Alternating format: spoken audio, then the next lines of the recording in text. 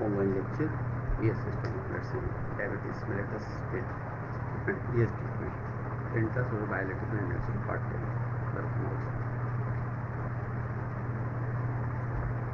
Uh, metabolic leader. Metabolic leader endocrine endocrinology. और यहाँ पर मेटाबॉलिक लीडर्स कहा गया है और इसमें जो लीड कर रहा है इस वक्त मेटाबॉलिक प्रोसेस को वो है एंडोक्राइन एंडोक्राइन ग्लैंड्स यहाँ पे आप चार्ट में, ये जिसमें देख सकते हैं। Thyroid parathyroid adrenal gland testis ovaries hip joints pancreas and pituitary glands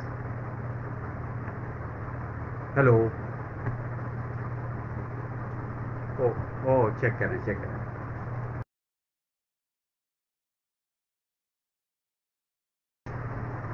sharing शायद नहीं हुई होगी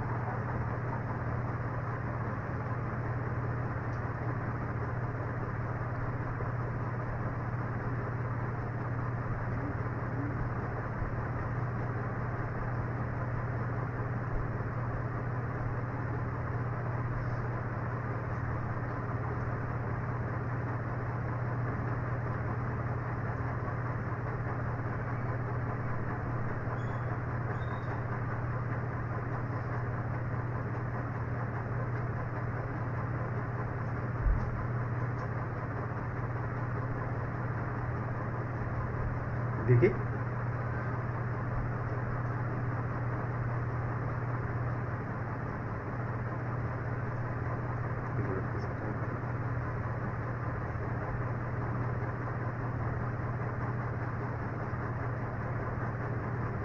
अब आ जाएगा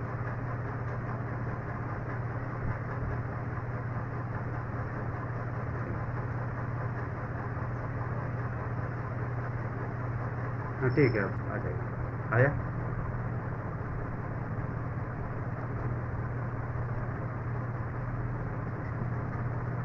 metabolic leader metabolic leader endocrinology यहाँ पर मेटाबॉलिक प्रोसेस को लीड करने वाला एंडोक्राइनोलॉजी मीन्स एंडोक्राइन ग्लैंड्स जिसकी स्टडी हम यहाँ पे करेंगे। तो यहाँ पर जो एंडोक्राइनोलॉजी है, वो thyroid parathyroid adrenal glands testis ovaries हिप्टाइंस pancreas and पेट्रिक ये सारे मिल करके हमारे मेटाबॉलिक प्रोसेस को मेंटेन करते हैं लीड करते हैं और जनरेट यहाँ पर हम देख सकते हैं thyroid hyperthyroids hypothyroid goitre and carcinoma thyroid develop करते हैं जो यहाँ पे आप देख सकते हैं।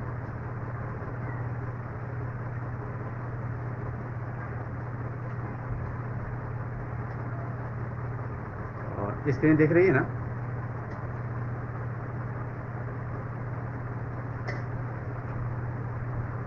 एक मिनट सेट पे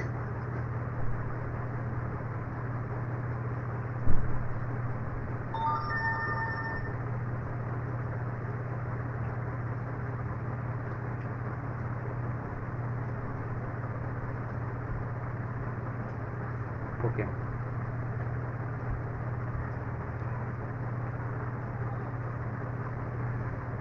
तो यहाँ पे जिस तरीके से देख सकते हैं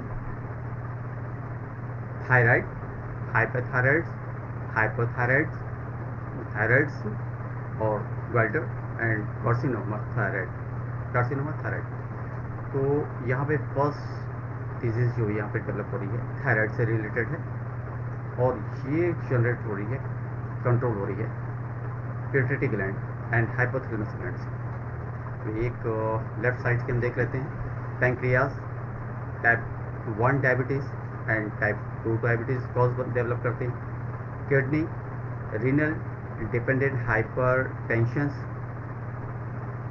और टेस्टिस सब fertility testicular failure testicular failure bone osteoporosis और osteomalacia endocrine disease two related diseases develop uh, pituitary and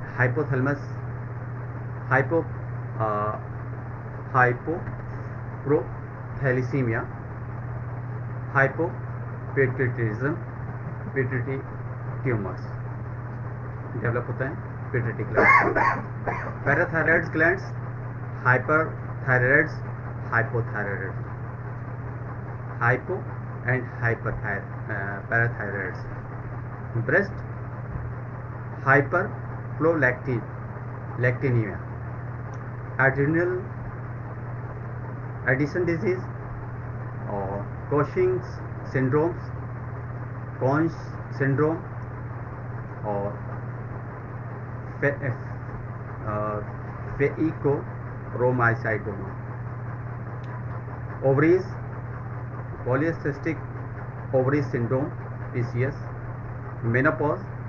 और सब फर्टिलिटी इसमें से बहुत सी चीज़ें जो दिख रही हैं ये बाद में लेक्चर्स में एक एक करके ली जाएगी। रिलेटेड तो एंडोक्राइन डिज़ीज़ से है ये, और हम type one and two diabetes में चल रहे हैं इस वक्त। आगे आ जाते हैं। Condition type one diabetes signs and symptoms weight loss सबसे पहले वेट लॉस होता हुआ नज़र आएगा कुछ चीज़ें बीच बीच में रिपीट हो जा रही हैं। वो इसीलिए हो रही है कि ये चीज़ चीज़ें जहन माइंड्स के अंदर डेवलप हो जाए कि अगर पेशेंट्स आता है और इन सिम्टम्स को डायरेक्टली हमें एक्सप्लेन करता है कि ऐसा हमारे साथ हो रहा है तो हम उसे आइडेंटिफाई कर सकें कि मुझे इसे ब्लड शुगर टेस्ट कराना है। तो क्या है? Type one diabetes sign and symptoms weight loss this is can affect some people with the types of diabetes and could be warning signs if you have not changed your diet or exercise routine weight loss this can affect some people with type 1 diabetes and could be warning sign if you have not changed your diet and exercise ये एक sign है मिलते हैं weight loss का अगर हम अपनी habits और अपने लाइफ स्टाइल को चेंज नहीं करते हैं डाइट्स को चेंज नहीं करते हैं तो प्रॉब्लम्स मेजर हो सकती है और क्रॉनिक हो सकती है क्रिटिकल हो सकती है। फ्रिक्वेंटली यूरिनेशंस ये सेकंड साइंस हो सकती है। वेट लॉस नहीं है, चलो ठीक है फ्रिक्वेंटली यूरिनेशंस हैं। This constant urge to urinate even if you have recently this can be very uncomfortable और बार बार यूरिन पास होता है और अनईजी फील महसूस होता है और अनसेटिस्फाई यूरिन होता है जैसे कि अभी करके निकले हुए हैं थोड़ी देर के बाद फिर महसूस होता है फिर जाना है मुझे। अगर बार बार ये चीज़ डेवलप हो रही है तो वहाँ पे भी हमें ब्लड शुगर टेस्ट करा लेना है। अगर साथ में आ, अगर वाटर कंजम्पशन भी बढ़ गया है बार बार water uh, taking waters after urine pass तो देर test F P B S and P T B S irritability और some cases of type one diabetes में cause confusion and anxiety that may make your taste irritability है ये ज़्यादातर female होती है। Some cases of type one diabetes में cause confusion अक्सर male and female दोनों देगा। एनेक्सिटी जनरली फीमेल में ज़्यादा होती हैं मेल में भी होती है लेकिन uh, अक्सर फीमेल होती है। अगर एनेक्सिटी का केस अगर फीमेल में ज़्यादा डेवलप हो रहा है बार बार पेशेंट कॉम्प्लिकेटेड है और कन्फ्यूज़न रहता है उसे किसी एक तो उसे फ़र्स्ट uh, हमें ब्लड टेस्ट करा लेना चाहिए। Blurry vision this is the sign that your diabetes is not under control when blood sugar levels are high for a long time water is poured into the lens uh, causing it to swell. Blur blurry vision के लिए जो है कह सकते हैं हम। जैसे कि अभी हम बहुत देर तक कंप्यूटर पे काम कर रहे हों या फिर बहुत देर तक हम कोई बुक स्टडी कर रहे हों अगर उसके बाद महसूस होता है और रेस्ट लेने के बाद ये चीज़ चली जाती है तो डायबिटीज़ नहीं हो सकती। हाँ ये कंटिन्यू पेशेंट कह रहा है कुछ दिनों से मेरी आँख में प्रॉब्लम महसूस हो रही है ब्लर दिख रहा है क्लियर नहीं हो रहा है, और कंटिन्यू 10-15 दिन हो गया है, लेकिन सही नहीं हो रहा। तो ऐसी कंडीशन में हमें F P B S F P B S और पी पी बी एस और रेंडाउन ये तीन टेस्ट ज़रूर करवा लेना चाहिए। एफ़ पी बी एस जो है फास्टिंग शुगर है, जैसे कि सुबह जाते हैं पेशेंट जाता है और खाली पेट होता है, कुछ भी नहीं लेता और जाकर ब्लड दे के आता है।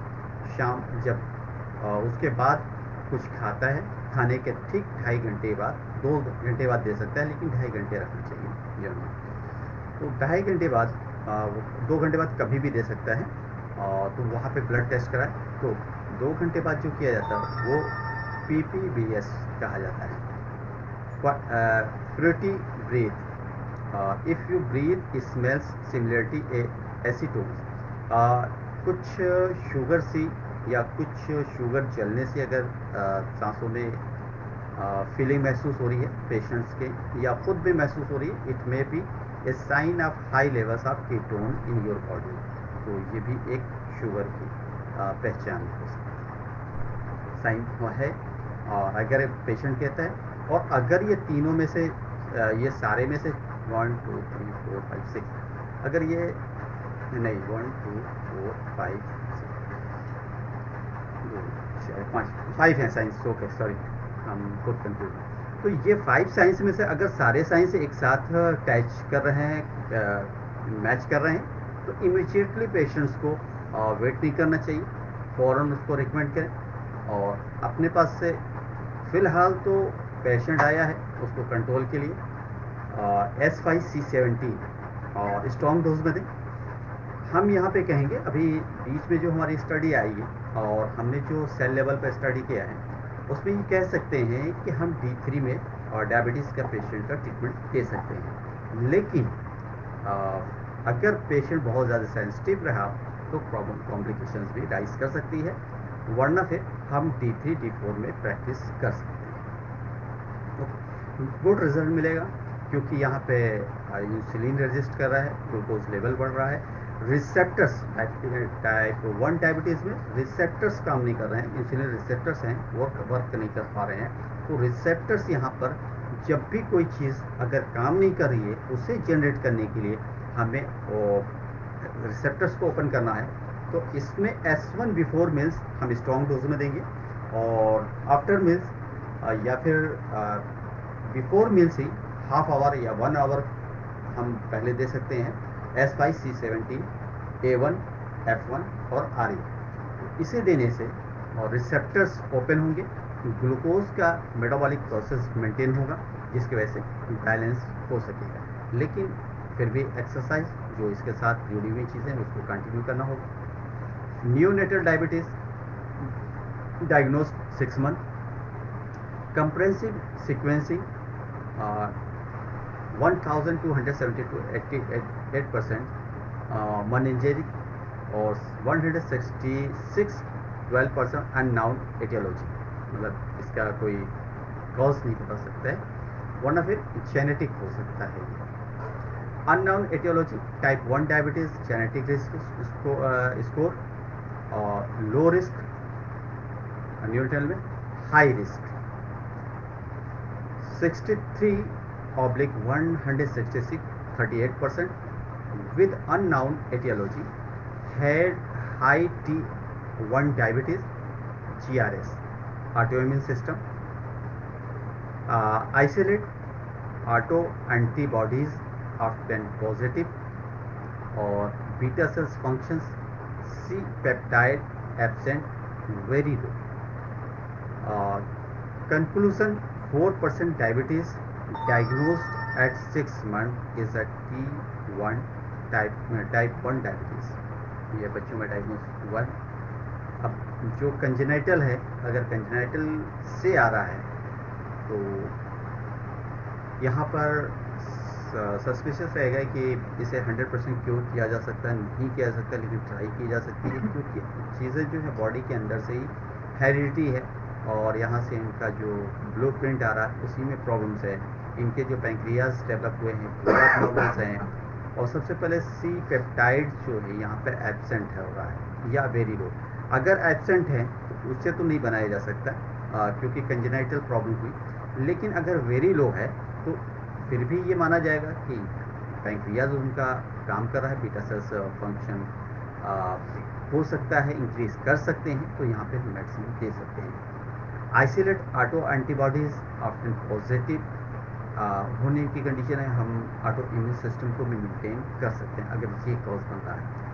और अगर एबसेंट ही है टोटल एबसेंट है तो एबसेंट अगर बाई नेटल है तो इसमें हमें प्रॉब्लम होगी उन्हें फुल्ली क्योर करने में type one diabetes muscles unable to use glucose to low insulin muscles to use glucose due to low insulin यहाँ पे लो इंसुलिन होता है और मसल्स ग्लूकोज अनेबल होता है। इसके अंदर muscles unable to use glucose muscles glucose use नहीं कर पा रहा है तो लो इंसुलिन की वजह से।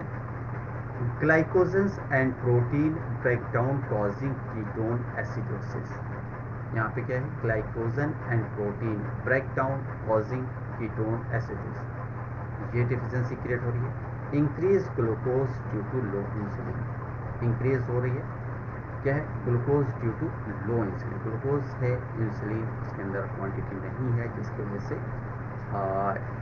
यहाँ पर इंसुलिन ग्लूकोज लेवल्स बढ़ है टाइप वन डायबिटीज़ डेवलप हो रही है। Decrease insulin in the blood vessels और इस तरीके से ब्लड वेसल्स के अंदर इंसुलिन डिक्रीज हो रही है तो ग्लूकोज की क्वांटिटी बढ़ेगी। ग्लूकोज की क्वांटिटी बढ़ेगी तो मसल्स के अंदर जो कैपलरीज हैं, जो सेल्स हैं, वहाँ पे ग्लूकोज लेवल बढ़ेगा। इंसुलिन रिसेप्टर काम नहीं करेगा। तो यहाँ पर प्रॉब्लम कॉम्प्लिकेशंस राइज करेगी। मसल्स पेन भी हो सकती है और गैंग्रीन भी डेवलप हो सकता है और इंटरनल मसल्स इंजरी भी हो सकती है। और ये हो रहा है पेंक्रियास के एबनॉर्मल पैंक्रियाज से इंसुलिन का या तो सिक्रेशन नहीं हो रहा या तो हो रहा है तो सफिशियंट नहीं है।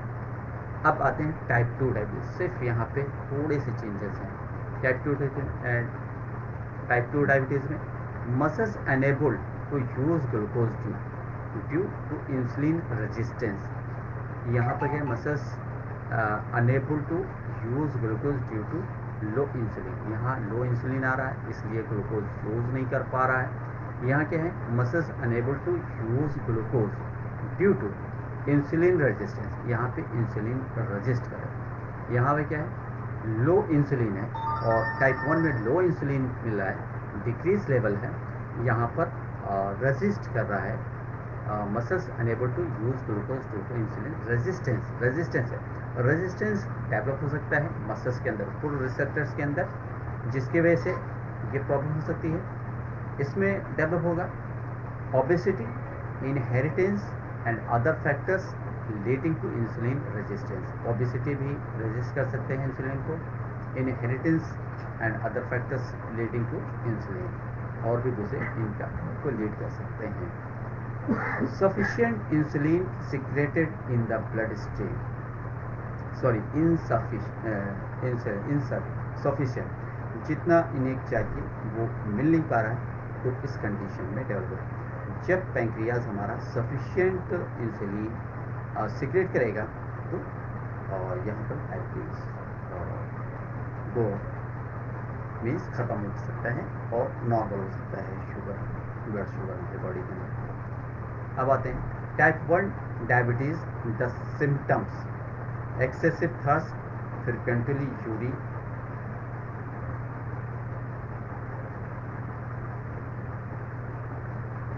टाइप टू में सेम ही फॉर्मूला आएगा। रजिस्ट कर रहे हैं ना? एक मिनट हम राइट क्या रहे हैं।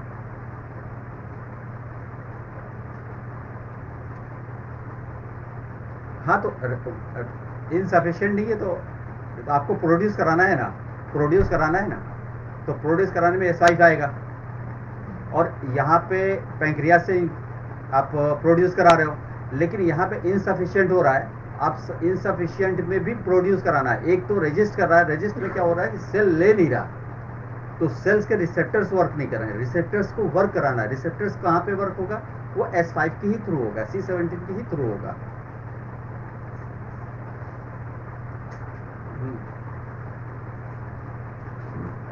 एस वन तो है ही बिफोर मीन्स तो आप दे ही रहे हैं रिसेप्टर्स को ओपन करने के लिए। यहाँ पे अब इंसुलिन को जो प्रोडक्शन है, उनको नॉर्मलाइज करने के लिए आप एस फाइव सी सेवनटीन तो दे ही रहे क्लियर हो गया?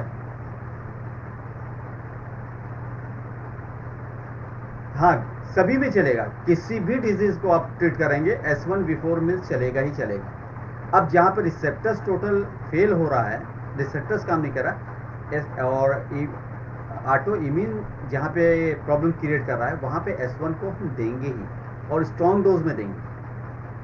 अगर हम चाहते हैं इमीजिएटली हमारा रिज़ल्ट आए, बहुत फास्ट रिज़ल्ट आए तो एस वन को मुझे डी फोर और डी थ्री में भी देना होगा। लेकिन संभल के देना पड़ेगा। डी फाइव में है ट्रीटमेंट चल रहा है, गाड़ी चल रही है, ठीक है स्टेशन पे पहुंचेगी। लेकिन मुझे जल्दी पहुँचना है तो सुपर फास्ट करना पड़ेगा। तो उस कंडीशन सुपर फास्ट में कई बार ऐसा होता है कि प्रॉब्लम भी क्रिएट हो सकती है, और तो ऐसे कंडीशन में हमें वहाँ पे संभल करके मेडिसिन का यूज़ करना होगा। पेशेंट्स के रेजिस्टेंस पावर को देखना होगा पेशेंट्स के सेंसिटिविटी को देखना होगा, उसी के अकॉर्डिंग देना होगा। और अगर नहीं समझ में आता तो डी फाइव में प्रैक्टिस करें। अब यहाँ पे जब हम आगे चलेंगे तो डी थ्री और डी फोर बल्कि हमारी पूरी प्रैक्टिस डी थ्री पे ही आएगी। रीज़न क्या है? डी थ्री पे हम स्ट्रॉन्ग ट्रीटमेंट देंगे जैसे कि अब आपको इम्यून सिस्टम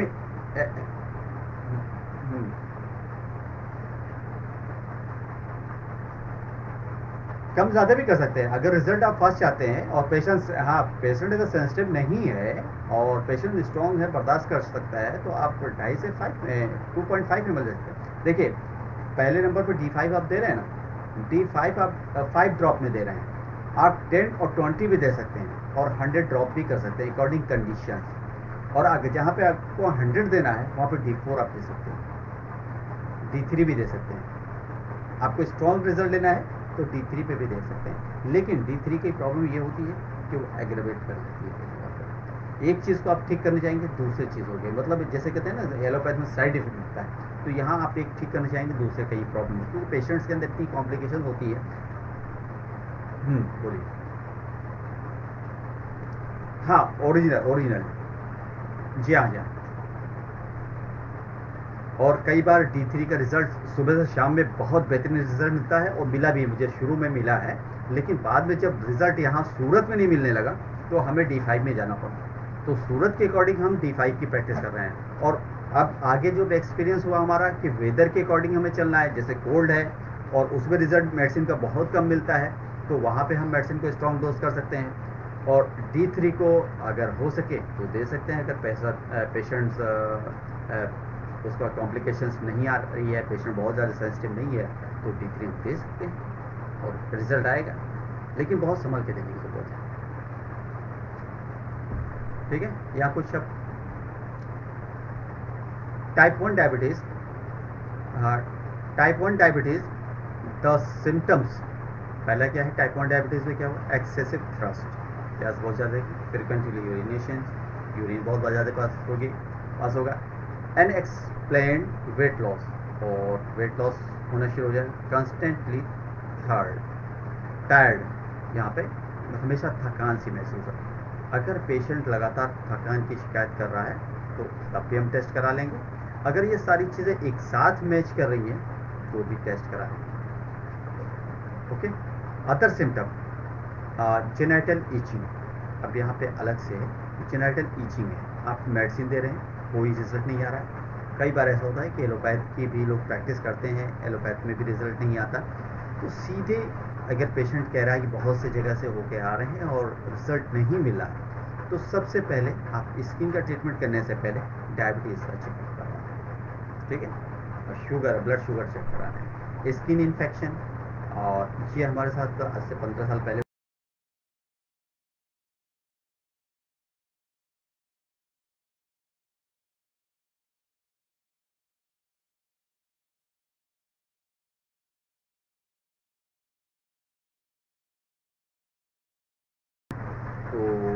फिर ब्लड टेस्ट करवा लिया। ब्लड टेस्ट कराया तो पता चला उसका 370 शुगर था तो इस कंडीशन और एक बार ऐसा भी हुआ था जेनेटल ईचिंग का पेशेंट था और जो जनरल हम प्रैक्टिस में ईचिंग की मेडिसिन यूज़ करते हैं और दे रहे थे रिज़ल्ट उसका आ ही नहीं रहा। फिर वहाँ पे भी जब ब्लड टेस्ट कराया गया एलर्जी टेस्ट कराया गया तो एलर्जी टेस्ट तो, तो आया ही आया।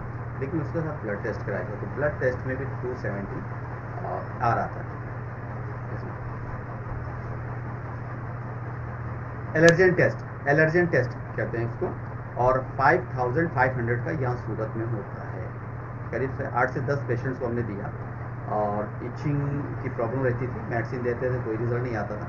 तो एक पेशेंट में ऐसा हुआ कि हमने जब टेस्ट कराया तो उससे मुझे सिर्फ़ एस वन से ही ठीक हो गया वो पेशेंट पहले बहुत सी मेडिसिन चलाए उसका कोई रिज़ल्ट नहीं आ रहा था, खैर परेशान हो गया कहा सर, एक बार तो आप हमारा टेस्ट करवा लीजिए ठीक है, हम करवा लेते हैं। जब हमने करवाया तो पहली बार तो उसकी हिम्मत नहीं हुई फाइव थाउज़ेंड फाइव हंड्रेड के था। लेकिन दूसरी बार जब वो बहुत परेशान हो गया कहा कि अब आप ही इसका सोल्यूशन निकाल सकते हैं और एलोपैथ में तमाम सी मेडिसिन ले चुका था तो हमने कहा ठीक है जाके करा के आओ। जब करवा के आया तो उसमें कई चीज़ों से एलर्जी थी जैसे कि कॉटन से थी और यहाँ पे जैसे साड़ियों का काम होता है डस्ट उसके घर में होता था। तो मिल का आ, मालिक है खुद काम करवाता है जाता है मिलों में। तो वो उसे ईचिंग रहती थी। तीसरे दूसरे नंबर पे जो आया वो यहाँ पे पीनट्स ऑयल यूज़ किया जाता है सींग तेल जिसे कहते हैं। तो उस तेल से भी उसको एलर्जी थी। और तीसरे नंबर पे ईस्ट और जो खमीर होता है आ, जैसे कि बैकर के बने हुई चीज़ें होती उससे भी उसको एलर्जी थी। और इसी तरीके से डस्ट एलर्जी भी थी। पाँच छः चीज़ों की एलर्जी आई और फिर चने की चना जो ग्राम हम लोग खाते हैं चना। उसकी भी एलर्जी थी। तो इस तरीके से मिलाकर कई एक एलर्जी आई और करीब तीन महीने तक हमने सारी एलर्जी की चीज़ों को बंद करवा दिया, जो चार्ट मिला था, उसमें से हमने बंद करवा दिया। सिर्फ़ एस वन ही चलाया गया और आप सब कुछ खाता पीता हो गया और कोई भी तकलीफ़ नहीं। जबकि हमने मेडिसिन बहुत से इलेक्ट्रो में चलाए और हर तरीके से हटाई गया, कोई रिज़ल्ट नहीं आ रहा था। तो सिर्फ़ एलर्जी की वजह से भी होता है। तो जेनाइटल अगर ईचिंग है या फिर ईचिंग आपकी खुजली, जैसे कहते हैं, वो अगर सही नहीं हो रही तो आप पहला टेस्ट करवाएँ शुगर का। शुगर का तो सस्ता हो जाता है और यहाँ पे तो तीस रुपये चालीस रुपये में भी हो जाता है। कार्ड बन जाता है। यहाँ पे ट्रस्ट बहुत ज़्यादा हैं। ट्रस्ट के लोग कर देते हैं। वरना फिर सौ, डेढ़ सौ रुपये के अंदर हो जाता है टेस्ट। तो ये सस्ता है, लेकिन वो एलर्जी टेस्ट बहुत महँगा होता है। ये आम लोगों को करा पाना बहुत मुश्किल हो जाता है। लेकिन अगर नहीं पेशेंट ठीक हो रहा तो करवाना पड़ता है। और उसमें जिन जिन चीज़ों पे आता है इंडिकेशन कि इन इन चीज़ों को नहीं लेना है तो उस पर रोक लगा देना है, कम से कम साल भर छः महीने ठीक? यहाँ पे हो गया स्किन इन्फेक्शन ब्लड विजन और ये जैसे हमने अभी पहले एक्सप्लेन कर दिया स्टमक क्रैम्प्स अब यहाँ पे आगे ये चीज़ नहीं थी, यहाँ पे स्टमक क्रैम्प अब बार बार पेट में एटेंसी महसूस होना क्रैम्प महसूस होना तो ऐसी कंडीशन में भी पेशेंट्स मेडिसिन आप देंगे, उसका कोई रिज़ल्ट नहीं आ रहा नहीं रिज़ल्ट आ रहा है तो इसके मतलब है कि ग्लूकोज लेवल जो है इंटेस्टाइन की लेयर के अंदर, जो जो ट्यूब्स है, उनके अंदर बढ़ यहाँ क्या हुआ? चेनाइटेल ईचिंग स्किन के अंदर ग्लूकोज का कलेक्शन बढ़ गया सेल्स के अंदर। तो यहाँ पे ये प्रॉब्लम आई। स्किन इन्फेक्शन अब क्योंकि एरिटेशन हो गया है, कोई भी इन्फेक्शन हो गया है, अब क्योंकि जब शुगर आप रखते हैं, किसी भी शरबत बनाकर तीन से चार दिन के अंदर आप देखें, उसमें स्मेल सिरके जैसी आने लगती है। तो वो जो सिरके जैसी है तो वो फॉर्मेंटेशन होता है। तो जैसे ही स्किन के अंदर फॉर्मेंटेशन शुरू होता है, आपने अभी ऊपर था कि फॉर्मेंटेशन हो जाता है स्किन फॉर्मेंटेशन जैसे ही फॉर्मेंटेशन होता है स्किन में पिंपल्स हो जाते हैं और पश फॉर्म होने लगते हैं। पश का आना मीन्स इन्फेक्शन डेवलप होना। ब्लड विजन में क्या होता है?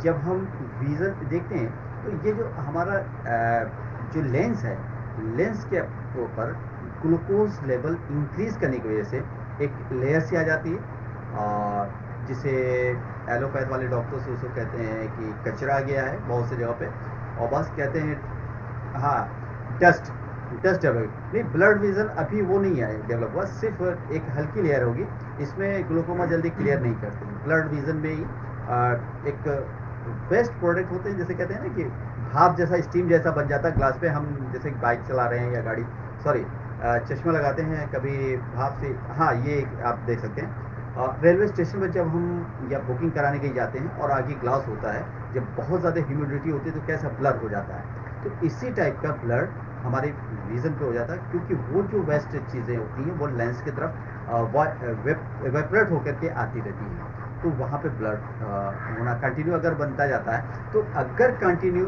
इस चीज़ का कलेक्शन बढ़ता जा रहा है तो वहाँ पे ग्लूकोमा कैट्रिक डेवलप हो सकता हो जाता है।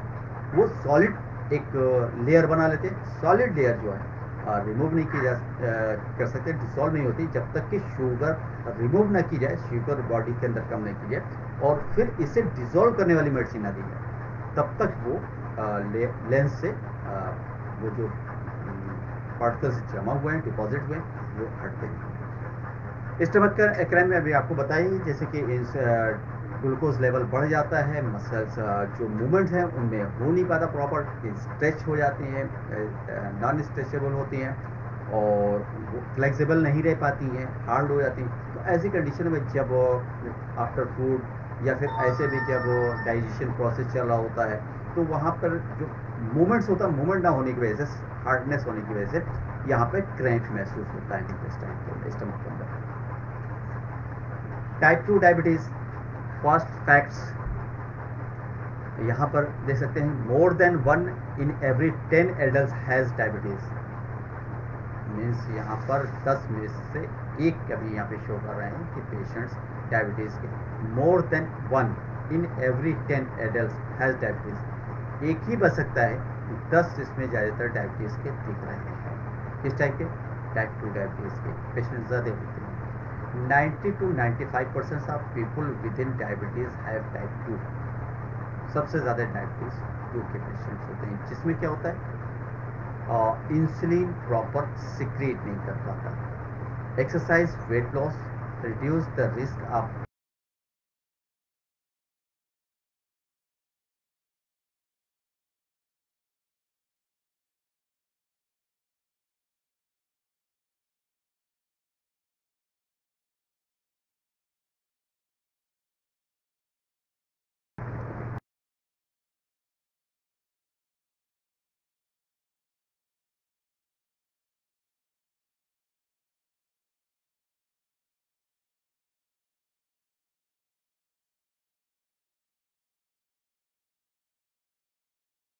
glucose हैं। स्टमक से। लीवर ये ब्लड के थ्रू लीवर में जा रहा है और स्टमक के थ्रू ये ब्लड में जा रहा है। इंसुलिन पेंक्रियाज के थ्रू ब्लड के अंदर जा रहे हैं और ये ब्लड के थ्रू लीवर के अंदर जा रहे हैं। यहाँ क्या क्या है? नॉर्मल कंडीशन में। हेल्दी है। देख सकते हैं, आप लिखा हुआ नॉर्मल देखिए, ये हमारी आरटी है ब्लड फ्लो है, और यहाँ पे ग्लूकोज है। ये ब्लू कलर में जो डॉट्स दिख रहे हैं, ये ग्लूकोज के हैं। इस स्टमक के थ्रू जो डाइजेशन हो रहा है कलेक्शन हो रहा है, ये ब्लड के अंदर जा रहा है। ब्लड के अंदर से ग्लूकोज लीवर के अंदर जा रहा है। इसी तरीके से पेंक्रिया से इंसुलिन का सिक्रेशन हो रहा है। और ये भी ब्लड के अंदर जा रहा है। और ये ब्लड्स के थ्रू ये बसेस के अंदर जा रहा है। यहाँ पे देख सकते हैं। और यहाँ पे लीवर के अंदर जा रहा है। ये ग्लूकोज मसल्स एंड लीवर दोनों के अंदर जा रहा है। ओके अब यहाँ पे अनहेल्दी भी देख सकते हैं। Insulin resistance, type two diabetes. देख लें ग्लूकोज लेवल्स क्या है। अब यहाँ पे ग्लूकोज लेवल्स कम हो गए। यहाँ पे ग्लूकोज लेवल कम हो गया इंसुलिन इंक्रीज कर गई। ये ब्लड के थ्रू हो रहा है। Organs unresponsive unresponsive to insulin less glucose being store and are used यहाँ पे क्या है? ऑर्गन अनरिस्पॉन्स ऑर्गन रिस्पॉन्स नहीं कर रहा है। जो ग्लूकोज हो रहा है, उसको प्रॉपर ले नहीं रहा है। इंसुलिन रहा है। लेकिन स्टोर एंड आर यूज़ क्या है? Less glucose being store and are use यहाँ पे ग्लूकोज तो पूरा मिल रहा है। लेकिन ऑर्गन रजिस्ट कर रहा है। इसे ले नहीं रहा है। समझ में आया? ग्लूकोज नहीं ले रहा। ग्लूकोज नहीं ले रहा। देखेंगे आप हाँ लीवर नहीं ले रहा है। यहाँ पे थ्री डॉट्स हैं ब्लू कलर के। ये ग्लूकोज है। इंसुलिन देखें कितना ज़्यादा जा रहा है। लीवर को जा रहा है। अब यहाँ क्या हो रहा है? देखिए इंसुलिन यहाँ पे भी हो रहा है। मसल्स यही काम हो रही है। मसल्स में इंसुलिन तो जा रही है। ग्लूकोज नहीं है। ग्लूकोज को रजिस्ट कर रहा है यहाँ पे। तो increase level of glucose in the blood इस तरीके से ब्लड के अंदर ग्लूकोज लेवल बढ़ रहा है। आर्गन जो है रिसीव कर रहा है ग्लूकोज को रिसीव नहीं कर रहा है इंसुलिन को ले ले रहा है मसल्स इंसुलिन को ले रहा है ग्लूकोज को नहीं ले रहा है देखिए ये ब्लू कलर के कम डॉट्स दिख रहे हैं तो मसल्स ग्लूकोज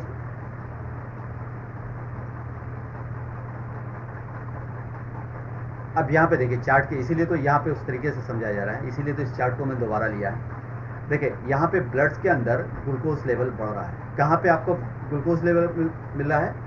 ब्लड्स के अंदर। जब ब्लड्स के अंदर टेस्ट करते हैं, तभी तो आपको दिख रहा है ग्लूकोज लेवल बढ़ रहा है। अगर इंसुलिन के साथ होता है इंसुलिन अगर यहाँ पे ले लिया जाता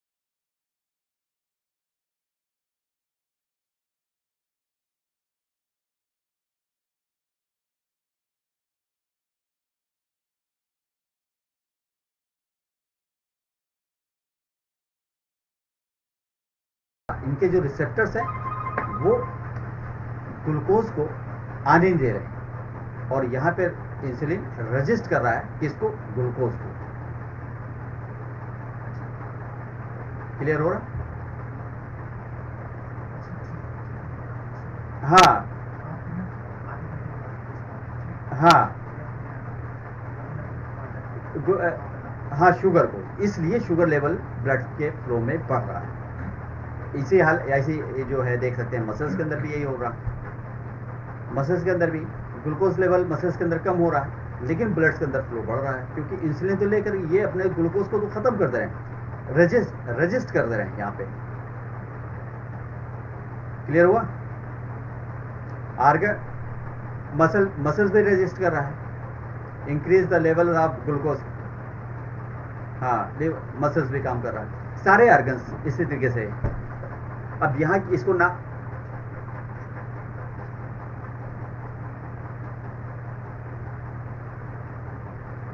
ऊपर देते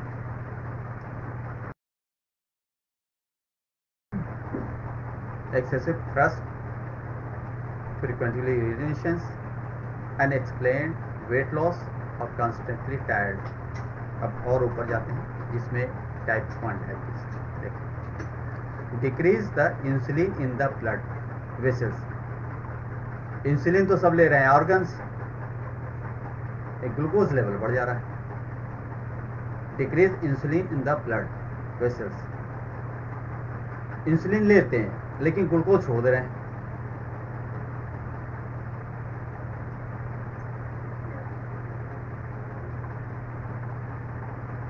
हाँ इसीलिए मसल हाँ हाँ तो उससे क्या है, वो ब्रेक कर दे रहे हैं। वो ग्लूकोज को ले नहीं रहे हैं इंसुलिन को ले ले रहे हैं। अब ग्लूकोज चाहिए, होगा तभी तो एनर्जी प्रोड्यूस होगी। एनर्जी फॉर्मेट ब्रेक करेगा।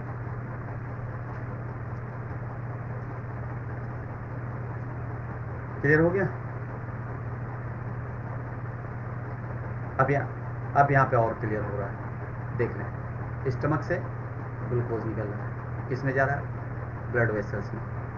ठीक है? इंसुलिन भी ब्लड में जा रही है। अब यहाँ से देख सकते हैं इसलिए बड़े चार्ट में। वन टू थ्री ग्लूकोज कितना जा रहा है? सिर्फ़ थ्री परसेंट जा रहा है। थ्री परसेंट रख लेते हैं। इंसुलिन कितने जा रही है? एक। One two three four five six seven eight nine ten अब टेन इंसुलिन ले रहा है तो यहाँ क्या है? ग्लूकोज तो इन्हें लीवर्स को मिल ही नहीं रहा। Organs unresponsible to insulin less glucose ठीक है स्टोर एंड आर यूज़ ये ग्लूकोज स्टोर नहीं कर पा रहे हैं।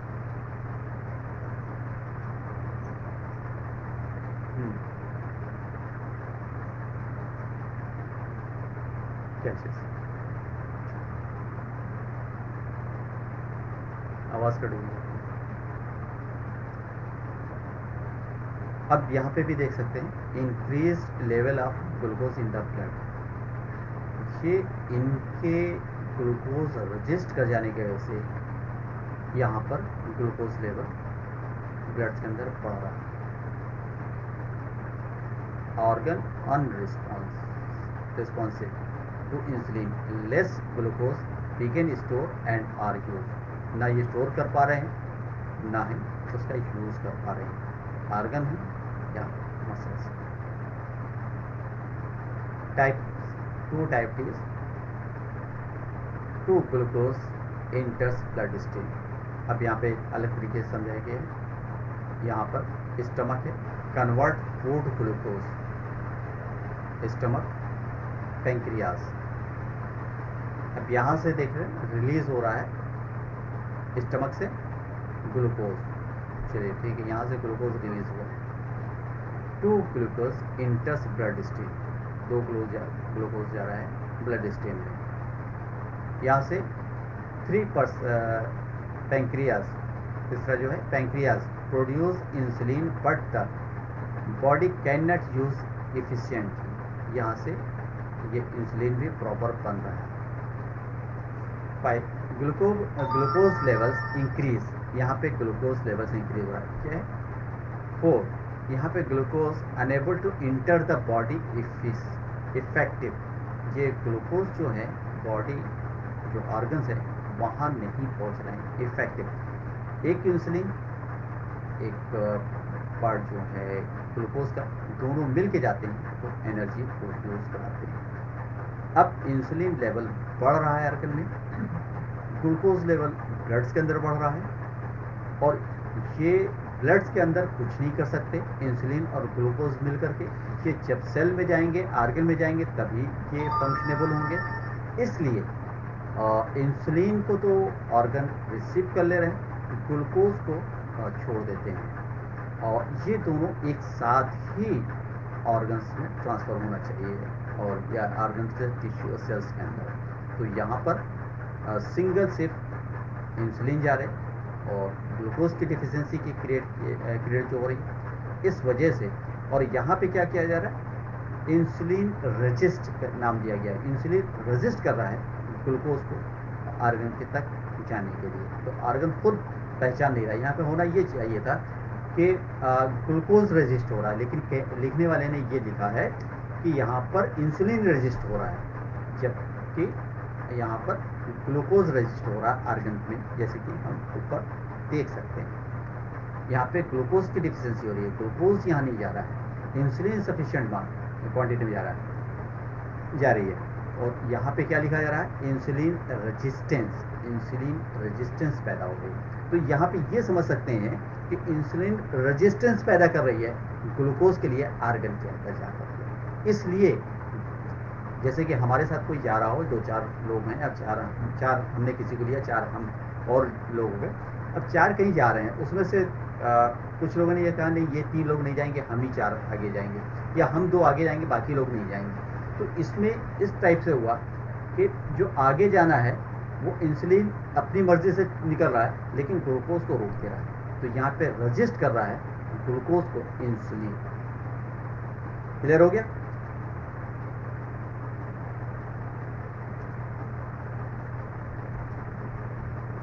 हाँ जी हाँ यहाँ पे इस हाँ हाँ ग्लूकोज रजिस्टर क्योंकि आर्गन के अंदर ग्लूकोज नहीं जा पा रहा है। अब जाएगा तभी तो इन सेल्स के अंदर जाएगा, तभी तो फंक्शनेबल होगा।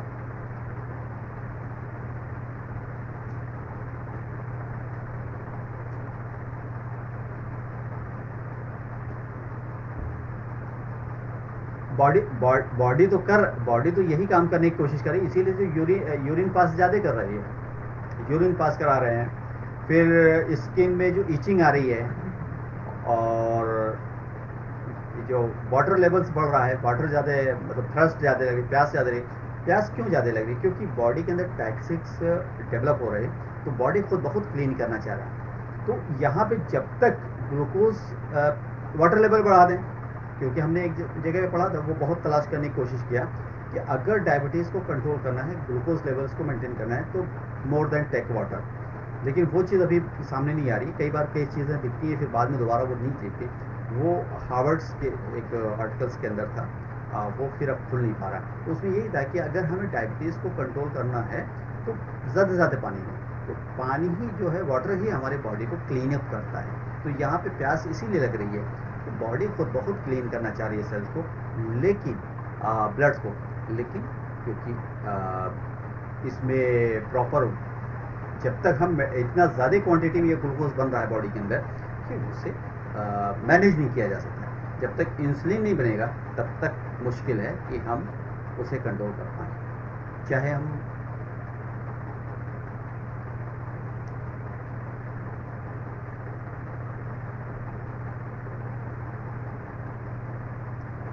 वो तो फिर उसी पे जाना पड़ेगा।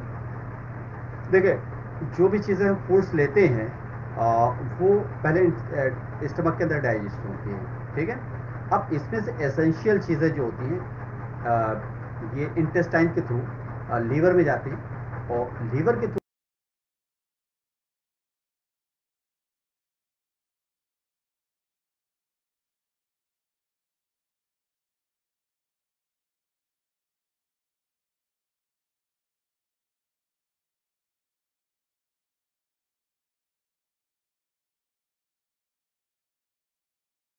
लीवर को भेजा था। लीवर उसको मेटाबलाइज करता है, उसको रेगुलेट करता है। बॉडी को जितनी ज़रूरत होती है, वो फिर उस हिसाब से बॉडी वो ब्लड के अंदर रिलीज़ करता है। ब्लड उसे लेकर के ब्लड और लिम्फ लेकर के उसे फिर ट्रांसफ़र करते हैं आगे आगे में क्लियर हुआ?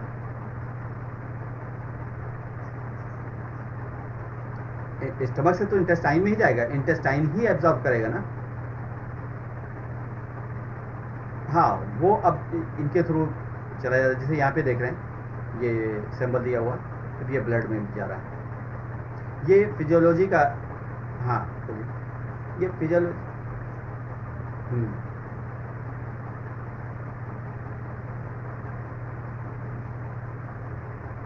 कुछ चीज़ें डायरेक्ट जाती हैं। स्मॉल इंटेस्टाइन हाँ ये सही क्या होता है। ये स्मॉल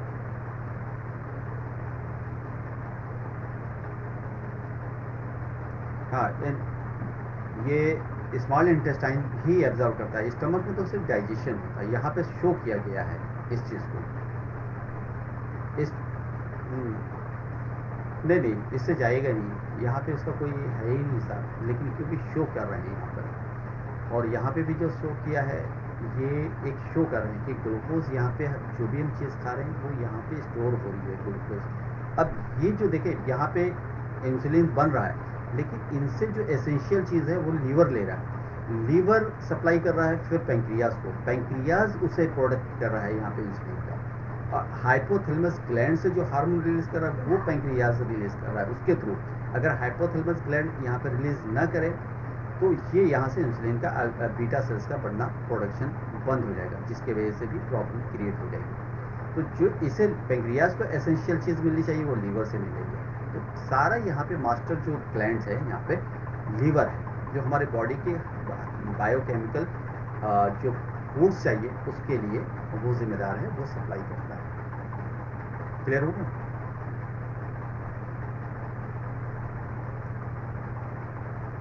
अब यहाँ पे दूसरी तरीके से देख सकते हैं। Type second diabetes stomach convert food in glucose stomach में ही जो है ग्लूकोज कन्वर्ट हो जाता है।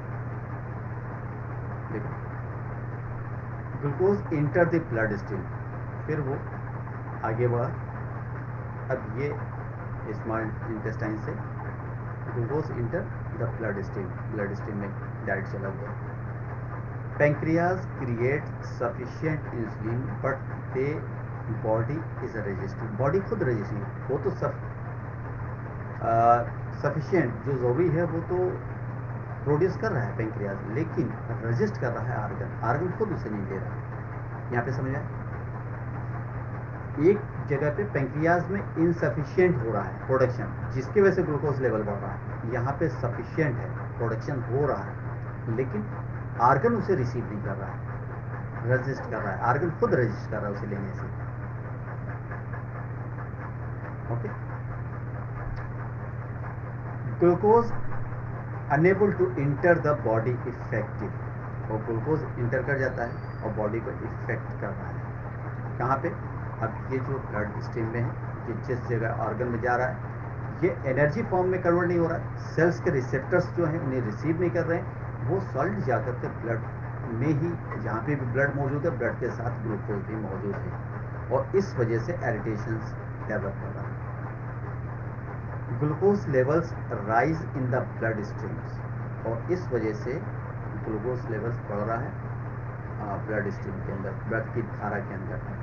डैमेजिंग ब्लड वेसल्स और इस वजह से ये डैमेज कर रहा है आर्गन्स की ब्लड वेसल्स को। और कहीं पे भी आर्गन्स की पूरी बॉडी की वेसल्स कहीं पे भी डैमेज हो रही है तो ग्लूकोज एक्स्ट्रा होने के लिए आप आ, ऐसे भी देख सकते हैं कि अगर रात में कुछ स्वीट्स खा के अगर सो लिए सो जाते हैं बच्चे तो टीथ खराब हो जाते हैं। तो ग्लूकोज जो भी मीठी चीज़ें हैं फॉर्मेंटेशन पैदा कर देती है, जिसके वजह से टिश्यूज़ डैमेज होना शुरू हो जाते हैं। तो जब यहाँ पे ज़्यादा देरों, देर तक ये ब्लड शुगर ग्लूकोज लेवल यहाँ पे मेंटेन रहता है तो ऐसी कंडीशन में एक कैपेसिटी होती है आर्गन्स को टिश्यू वेसल्स को बर्दाश्त करने की। उसके बाद उन्हें खुद डैमेज करना शुरू हो डैमेज का मतलब ऐसा कर दिए कि सॉफ्ट होती जाती है नर्म होती जाती है। जैसे कि कोई भी चीज़ आप रख लें शुगर के साथ मिक्स करके थोड़ी देर के बाद वो साइट्रस टाइप की खट्टी सी हो जाती है और वो बहुत ज़्यादा, जैसे प्रैक्टिकल में ले लें, आप ओट ले लें, जैसे कि डॉ बना लें, या आटा जो होता है वेट का, वो ले लें, उसके अंदर थोड़ा शुगर मिला के रख दें। और 24 फोर आवर के बाद आप देखें उसकी क्या पोजीशन होगी और टेम्परेचर अगर बढ़ रहा है तो ठंडक में रखें, ठंडक में इतना ज़्यादा पता नहीं चलेगा। तो यहाँ पे बॉडी टेम्परेचर है। इस वजह से सेल्स का जो है फॉर्मेंटेशन शुरू हो जाता है वेसल्स में और सॉफ्टनेस बढ़ जाती है और ये बहुत ज़्यादा इसको कह सकते हैं सॉफ्ट हो जाती है। और जिसकी वजह से कहीं भी रेक्चर्स हो सकती हैं और कहीं पे भी फ़र्स्ट फॉर्मेशन फिर टिश्यूज डैमेज होना शुरू हो जाते हैं टिश्यू डैमेज होना शुरू हो जाते हैं तो वहाँ पर इन्फेक्शंस फ़र्स्ट सेल्स डेवलप होना शुरू हो जाते हैं। ये देख सकते हैं glucose enters blood stream from digestive system unhealthy amounts of glucose circulate in the blood stream no insulin available to bind to cell cell glucose can not enter cell glucose cell के अंदर enter कर नहीं रहा है। अभी cell के अंदर glucose enter नहीं कर रहा है, क्योंकि इंसुलिन नहीं उसके साथ मिक्स हो रही है। Glucose returns to blood stream और सेल उसे वापस कर दे रहा है कि तुम्हारी कोई ज़रूरत नहीं है। क्योंकि उससे मेटाबलाइज करने वाला जो ऑर्गन और क्योंकि ये अकेले जा रहा है सेल्स के अंदर तो वहाँ पे सेल्स को लग रहा है कि कोई टॉक्सिकेशन हमारे पास आ रहा है, जो हमें डैमेज कर सकता है। तो वहाँ जो ऑर्गन का सेल है उसे पैक कर देता है ग्लूकोज को। तो फिर ग्लूकोज जाए तो जाए कहाँ पे? तो फिर वो ब्लड स्ट्रीम में स्टोर होना शुरू हो जाता है। Cell has no glucose for fuel और फिर इस तरीके से फ्यूल का काम सेल के पास होता नहीं है। ग्लूकोज जब है ही नहीं इंसुलिन के साथ आ नहीं रहा है तो उसे फ्यूल मिलता नहीं है। इसलिए हमारी बॉडी लेजी और वेट लॉस और तमाम सी कॉम्प्लिकेशन है ये टाइप वन डायबिटीज़ में हो गया। सेल न्यूक्लियस के अंदर। नॉर्मल ब्लड वेसल्स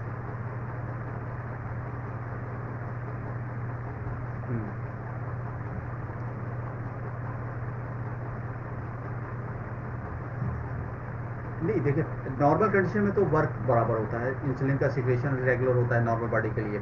लेकिन कई बार ऐसा होता है कि या तो हमारा जो ऑर्गन होता है, वो रजिस्ट करने लगता है इंसुलिन को लेने से।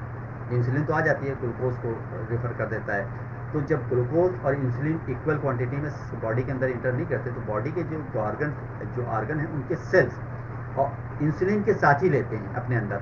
अगर इंसुलिन नहीं आ रहा है और वो सॉरी ग्लूकोज के साथ इंसुलिन नहीं आ रहा है इंसुलिन अकेले इंटर कर रहा है तो सेल उसे लेने से रोक ब्रेक कर देता तो ये रेजिस्टेंस डायबिटीज़ हो जाती है। और एक कंडीशन ऐसी होती है जहाँ पे बीटा पेंक्रियास डैमेज हो जाता है। पेंक्रियास की वजह से इंसुलिन सिक्रेट नहीं करता, जिसके वजह से भी जो हमारे बॉडी के अंदर ग्लूकोज लेवल बढ़ जाता है।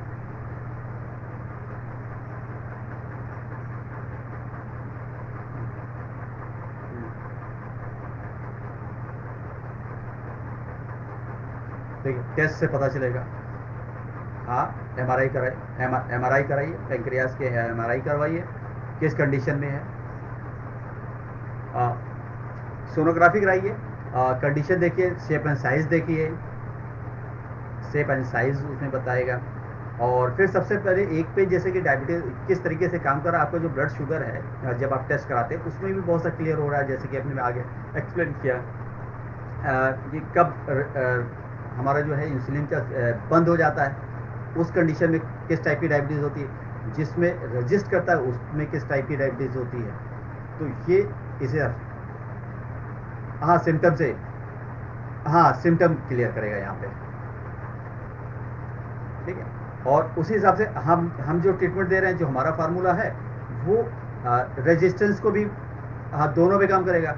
अगर बीटा सेल्स के नहीं बन रहे हैं पैंक्रियाज से तो पैंक्रियाज से पैंक्रियाज के लैंगर हेंस डैमेज होता है, तभी इंसुलिन का प्रोडक्शन रुकता है। तो वो प्रोड्यूस वहाँ से वहाँ से रीजनरेट करेंगे। जब रीजनरेट करने तो इंसुलिन का प्रोडक्शन बढ़ जाएगा। और सेल्स के रिसेप्टर्स फेल होने की वजह से भी ऐसा होता है। तो रिसेप्टर्स जब फेल होते हैं तो वो भी एस फाइव के अंदर आ जाता है। और ये नर्वस सिस्टम मेंटेन करता है कि किस चीज़ को लेना है, किस चीज़ को नहीं लेना है, किस चीज़ से बचना है बॉडी को। बॉडी खुद खुद डिटेक्ट करती है।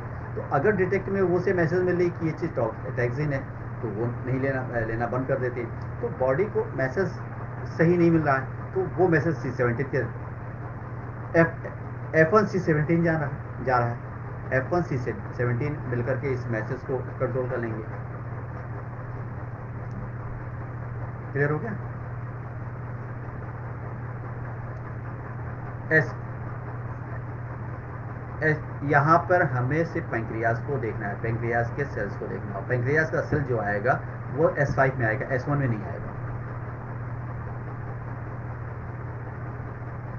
हमने जो फार्मूला बताया, वही कंप्लीट फार्मूला है। S5 C17 और A3 या A1 F1 RE हाँ डायबिटीज़ इंसेप्टस में जो है वो एस वन आएगा। वहाँ पे एस वन काम करेगा। डायबिटिक इंसेपिडस में ओके नॉर्मल ब्लड वेसल्स आप देख सकते हैं glucose in blood stream proper जा रहा है। सेल है ये। Cell use glucose for energy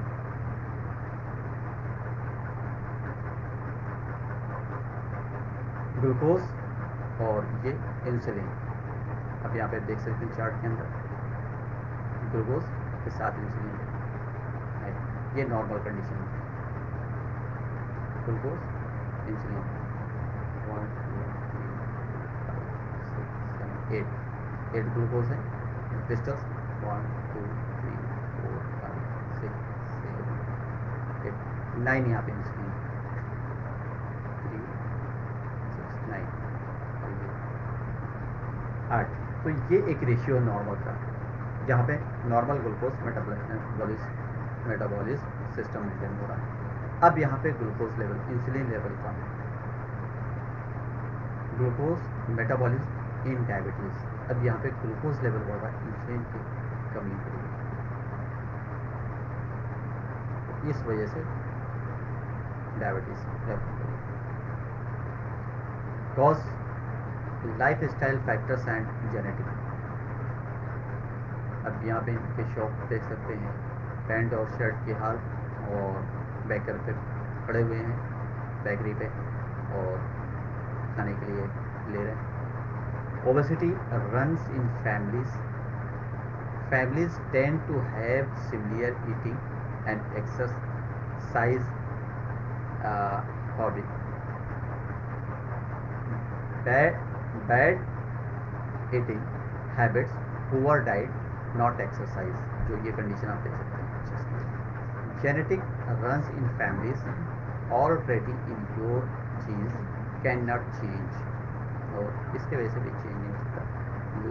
Lifestyles you can do something about it और इसमें लाइफ स्टाइल चेंज करना पड़ेगा, उसके साथ कोई रास्ता और जीन्स एक्टिव तभी होंगे जब हम अपनी लाइफ स्टाइल्स को रफ रखेंगे। खाना होगा फूड्स मोर देन फ़ूड कम वर्क कम मूवमेंट्स तो उसकी वजह से ये देखिए what is the difference between diabetes and diabetes medics यहाँ पे फिर एक बार आ गया। The terms diabetes in uh, sorry, the terms diabetes is derived from Latin original language as means to go through shippon, referring to large amounts of urine produced by the kidney, the mellitus. In Latin means sweets or diabetes mellitus means cause high blood uh, blood glucose levels and glucose eventually splits into the urine. यहाँ पर uh, यहाँ पे high levels of urine discharge and water take यहाँ पर glucose levels bloods के अंदर बढ़ता है why does diabetes insipidus not change blood sugar it's when your pancreas does not produce enough insulin to control the amount of glucose or sugar in your body uh, your sorry your blood diabetes insipidus is a rare condition that has nothing to do it uh, nothing to do with the pancreas or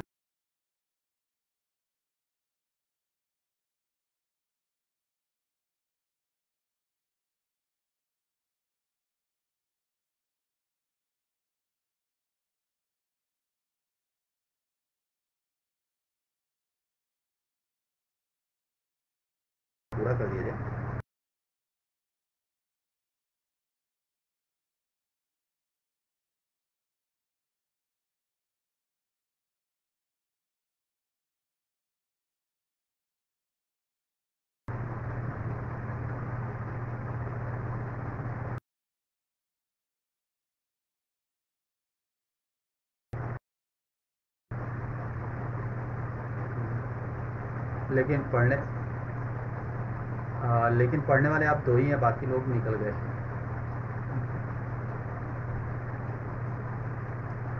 लेकिन इसी type के अगर लोग पढ़ने वाले हों तो हमें पढ़ाने में भी मज़ा आएगा क्योंकि ज़्यादा होना हो क्वेश्चन ज़्यादा होता है तो मुझे भी एक प्रेशर आता है कि नहीं इसको क्वेश्चन को सॉल्व किस तरीके से करना है? तो हमें भी दस तरफ़ जहन दौड़ाने का मौका मिलता है। वरना फिर सिर्फ़ साइन एंड सिम्टम्स बताकर कॉज बता कर और अवॉइड प्रिकॉशन बता करके ख़त्म करना तो सिंपल बुक बुक के अंदर है बुक से भी पढ़ सकता है इंसान।